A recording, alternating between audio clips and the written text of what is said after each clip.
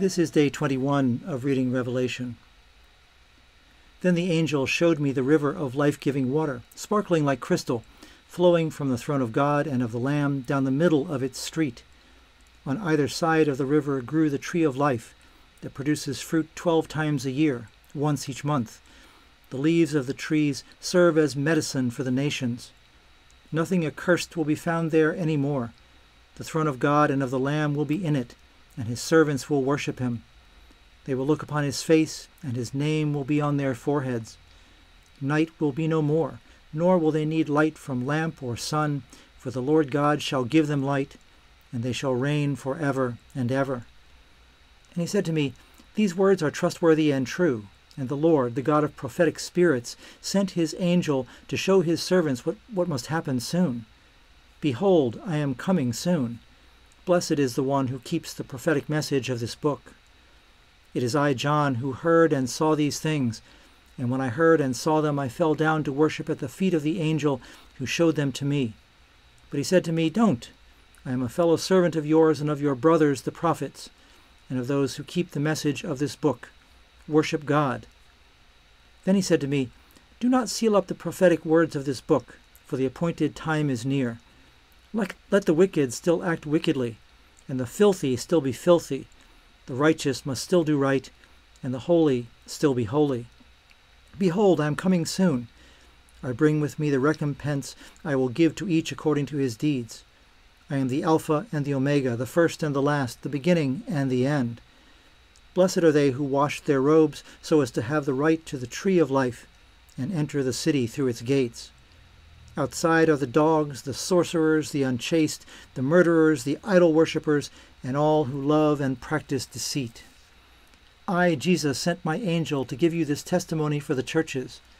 I am the root and offspring of David, the bright morning star. The Spirit and the bride say, Come.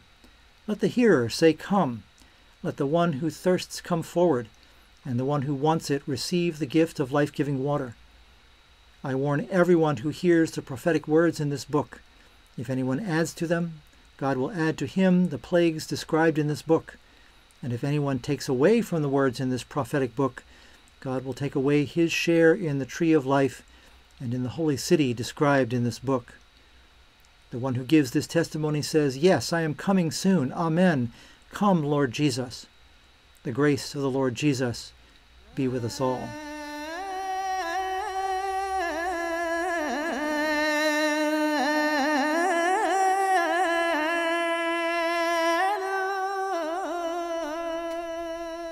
And so today we come to the epilogue of the book of Revelation.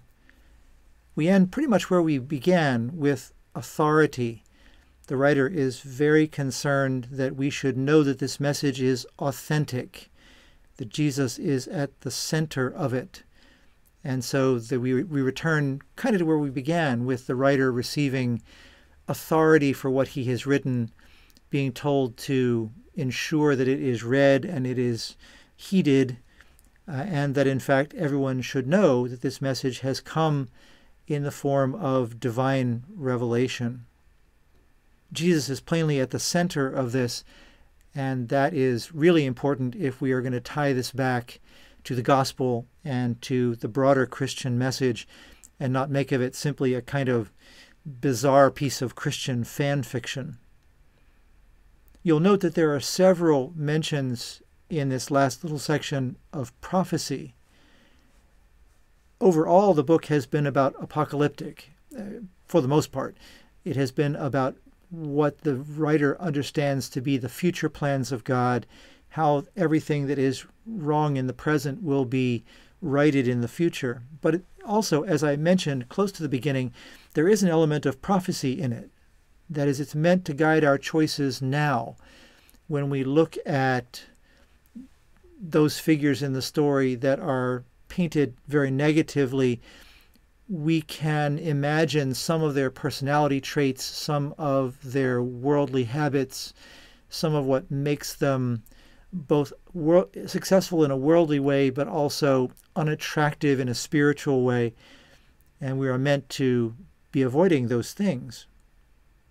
So we should take away from it something about the way that we organize our lives now, something about where we place value in our lives now, how it is that we imagine ourselves to be uh, part of the organizers of God's household in the here and now.